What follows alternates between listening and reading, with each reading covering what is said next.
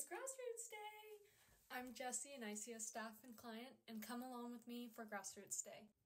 We're gonna go into one step beyond now. Thank you. Grassroots Day is an annual day of advocacy where people with disabilities get to talk to politicians. We drove up to Sacramento so we can meet with the senators and assembly members to advocate for the government to invest more funds into disability services.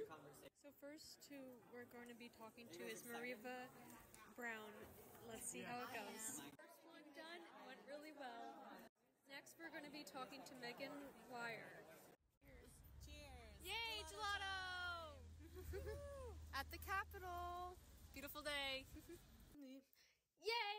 Grassroots Day was so awesome. Thank you for each and one of you for watching and supporting us. See you all next year at Grassroots Day.